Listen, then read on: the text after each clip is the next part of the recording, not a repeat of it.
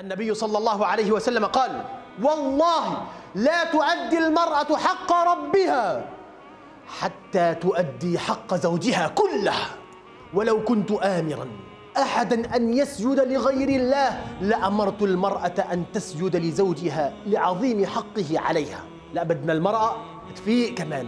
صحيح نحن بنعطيها حقوق وبنعطيها كل شيء إلى وزيادة ونأمر بمعاشرتها بالمعروف.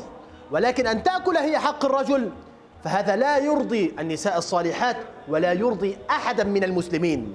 ثم تأتي بعد ذلك بتقاطع زوجها شهر وما بتحكي ما بتخلي كلمة عليه وبتفتح مكالمة جماعية هي وأخواتها وعائلتها وصاحباتها كلهم وما بيخلوا كلمة بينشروا عرضه وسلالته كلها. وآخر شيء بتنزل لك على الحالة لم يستوصوا بنا خيرا يا رسول الله. ما أنت دمرت أهله. بدنا نركز. في يوم حساب زي ما هو حيتحاسب إذا ظلمك. كمان أنت حتتحاسب إذا ظلمتيه.